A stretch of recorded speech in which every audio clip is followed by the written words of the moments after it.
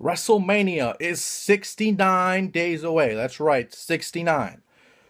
And yes, that is correct. So, with that being said, it's not an innuendo, it's just that's a fact.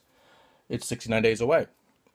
So, with what happened to the Royal Rumble, uh, obviously we don't have a number contender to challenge for the belt, as the one who won the Royal Rumble is the champion going into WrestleMania.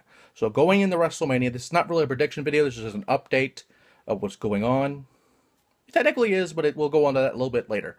Uh, first off, the Royal Rumble itself was an amazing event. Uh, Owens and uh, Owens and uh, Ambrose stole the show, in my opinion and it, it was great. It was a great match. It was a great last man standing match. Probably one of the best ones I've seen in a long time. Uh, I mean, the whole card was great. Even with Sasha Banks becoming a face, I guess. Uh, what was going on with that was she came in after the match with Becky Lynch. Charlotte, of course, retained. And uh, that was interesting because it was somewhat of a reunion of the BFFs the NXT. Uh, Sasha turned on Charlotte and then had the bank statement, so she wants the belt, and it's about damn time.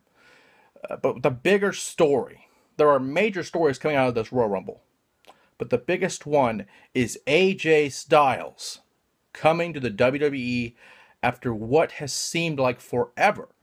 Now, technically, AJ was working for WCW at the time, and during WCW's closure, uh, AJ was technically a WWE employee, as was Sting, as was everyone else on that final show in for Nitro and the, the great simulcast back in the day.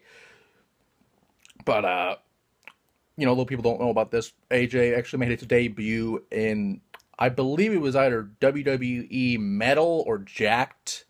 It was one of the international shows, I guess. It was either Metal or Jakked or whatever the other one was against the Hurricane tryout match, pretty much. But it was on Metal or Jakked or whatever.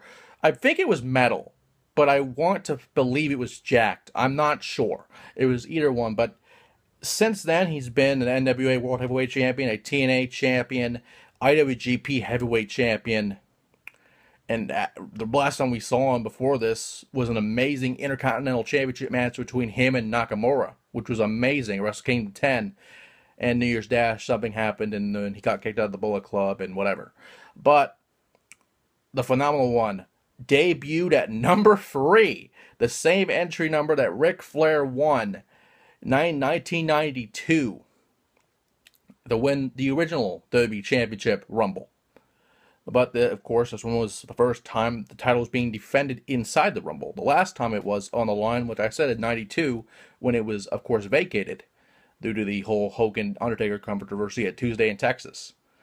But uh, a lot of surprises came out of this match. I mean, we saw Sami Zayn return, which was great. Eliminated Kevin Owens. Uh, speaking of Owens, he eliminated AJ Styles in the match. Uh, were there any other surprises? Other than that, I don't remember. Oh, of course, the man that won the Rumble, Triple H, the man that eliminated Roman Reigns, justifiably ending his reign as champion, and Triple H is now a 14 time world heavyweight champion, two away from his best friend Ric Flair's 16 time title reign, and one away from John Cena's 15. So hopefully that can happen in the future, but right now he's the champion. But there is a little controversy in this Rumble. A little controversy always happens in the Royal Rumble, as we saw R-Truth go up on top of a ladder. And I, I believe in his mind it was either Money in the Bank or in his mind it would the title was like above the ring in the rumble i guess and after you're eliminated you have to go climb it or something. I don't really know what was going on. That was not the big deal.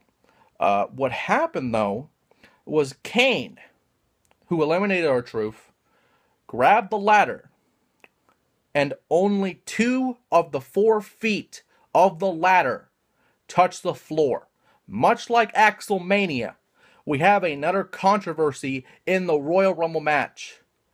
As technically, Roman Reigns should earn a rematch, maybe at Fastlane or Mania or something like that. We do not know what's going to happen with the title. Maybe at, at Raw tonight we'll find out. But here's what I believe is going to happen. And what is going to happen is that very same ladder. The ladder's two of the four feet of the ladder, I checked this several times after the Rumble happened. The ladder's feet did not touch the ground. In fact, the ladder was tossed on basically its face or on its back. I don't know how a ladder how this ladder actually worked. I didn't really get to see it, but from what I saw, it was just a flat landing. There was no feet touching the ground. Perhaps maybe the bottom two legs of the ladder and the feet perhaps touched the ground, but the other two were upright for the remainder of the match. Therefore, the ladder is the number one contender, and much like Triple H saying he can wrestle a broomstick and have a five star match at WrestleMania, we will see the COO HHH versus a ladder. And yes, that might sound crazy, but in wrestling, anything can happen especially since this ladder, and I have it on good word from sources that this ladder is the very same ladder that has won the DDT Iron Man Metal Heavyweight Championship three separate times. This ladder, basically, for those who don't know, the DDT Iron Man Heavymetalweight Championship is basically the DDT's version of the Hardcore Championship. Now, the ladder did not get eliminated. The ladder was still in the match. The ladder got screwed. This ladder has been in the ring before, several times in fact. He was been training for the, his life for this Royal Rumble match as a surprise entrant. This ladder will be your new WWE World Heavyweight Champion at WrestleMania 32, and that is a guarantee.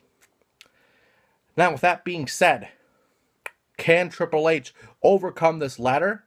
I don't know. We'll probably find out on Raw if he can, and we'll find out what happens. But for right now, the ladder is the number one contender, and the ladder deserves a match for the WWE World Heavyweight Championship.